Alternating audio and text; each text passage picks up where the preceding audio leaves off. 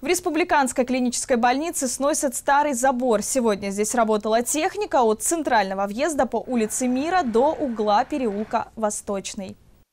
Снос забора связан с масштабной реконструкцией лечгородка и запланированным сносом уже ветхого корпуса психиатрического отделения, а также строительством парковочных мест для автомобилей сотрудников и пациентов. О том, что территорию вокруг РКБ будут реконструировать, ранее в интервью ТСВ рассказал главврач Республиканской клинической больницы Игорь Тостановский.